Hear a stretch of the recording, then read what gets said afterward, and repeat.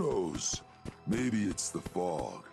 I just don't see what the point of us all killing each other is. Did you train these dogs? Yeah, as guard dogs. Not all can be trained, though. Most are used to being kicked or shot at. I can only manage a few at a time, though. So unless I find a new home for one of them, I can't really take on any more.